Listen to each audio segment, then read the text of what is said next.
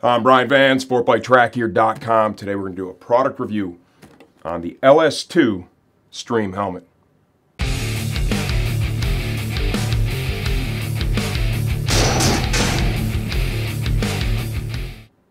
I'm going to open up right now with wow.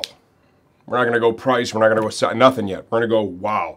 Remember, I ride in these helmets before I get up here and talk to you about them. I want to have a real first person point of view, form an opinion myself. I didn't expect to be dazzled or even all that satisfied with it. I threw it on, went out on the R3, rode around 10, 20 miles, whatever it was. And I forgot that I had on a helmet that I could get for under $100 when I was out there. So, that being said, if you're looking for a helmet in this price range, this one's going to be really hard to beat. And if you don't want any more information, stop watching now pull the trigger, buy the helmet. You'll be happy you did. For those of you that want more, here we go. Price is going to be from like 99 to 109. Remember, we've got solids and graphics, so just a tiny little variance there. Sizing will span from extra small all the way to 2XL.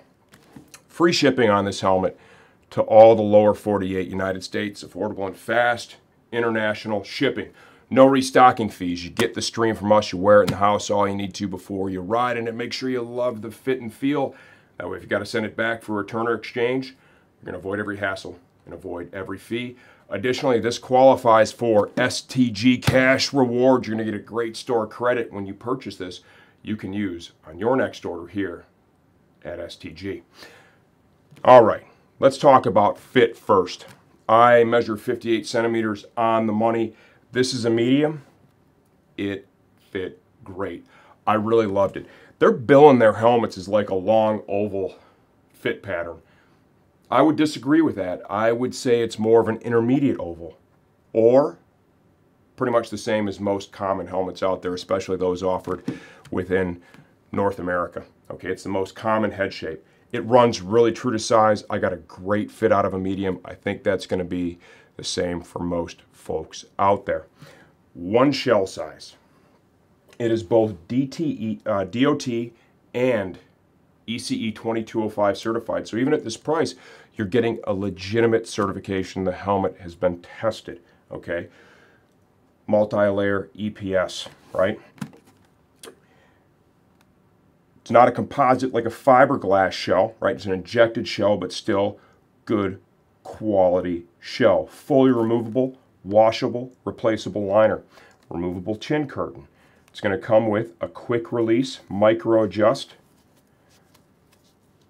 How do I feel about that? You know, for a racetrack helmet, I would prefer a full-on strap, okay? Standard D-ring. But honestly, for a street helmet, this is a heck of a convenience. I would have to say that it's absolutely safe. I mean, it has to pass all the testing for sure. This is a good quality mechanism, so, and it's also a nice little convenience, so I think that's really an added benefit. Let's talk about ventilation. How did I feel about that? I'd say it ventilated well. We had good airflow inside the helmet. Are we going to put this up there with a, like a $900 Arai Corsair, you know, or a, a Bell Race Star? No, it's, it's not at that level, but it's really good.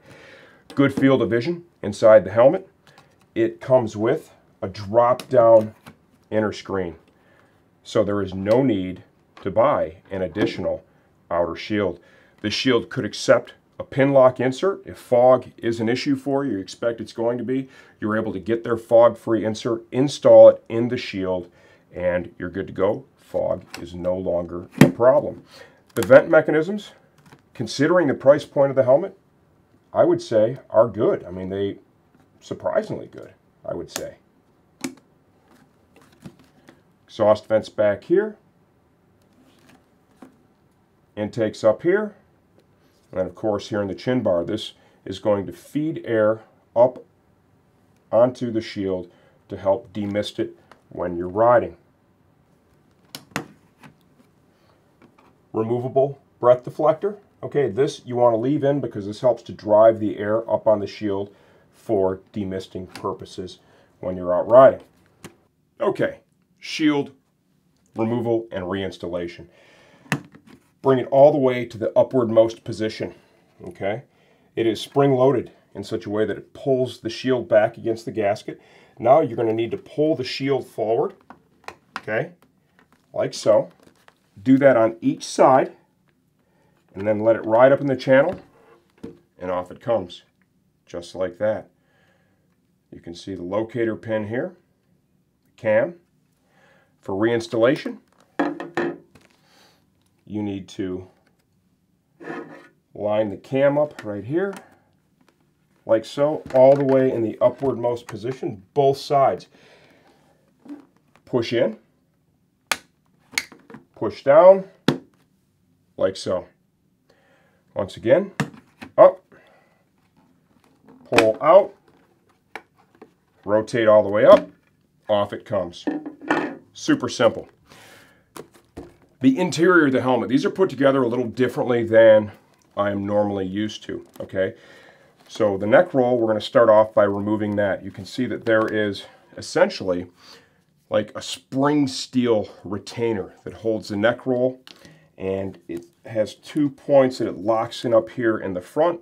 Easy out, easy back in. You want to pull the chin curtain out. That's held in between the EPS and the chin and the actual shell of the helmet. Just a little bit of pressure there. Now, cheek pads. Just standard snaps. Really nothing out of the ordinary here. Pull all that through.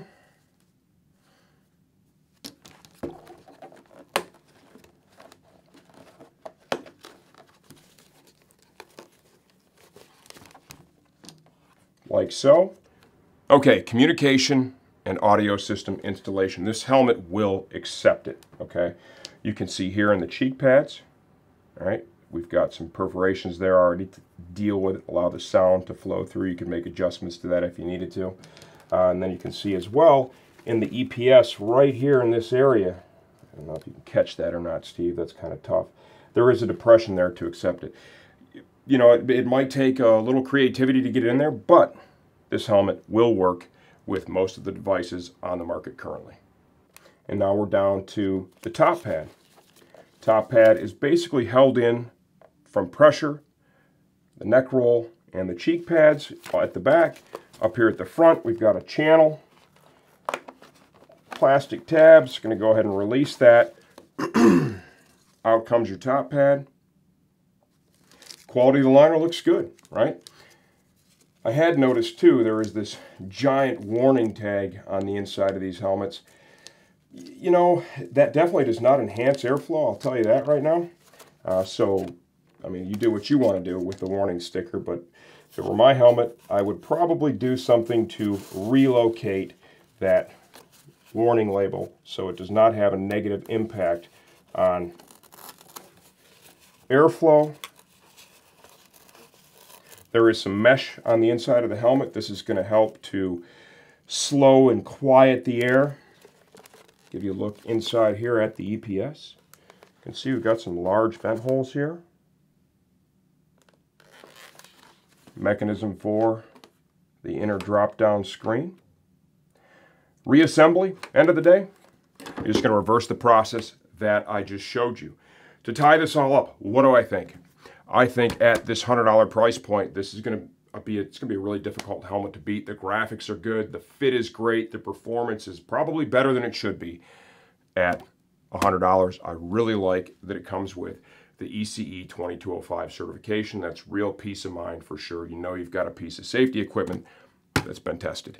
This is the LS2 Stream helmet. I can't believe I'm actually excited about a $100 helmet. I'm Brian Van, sportbiketrackgear.com.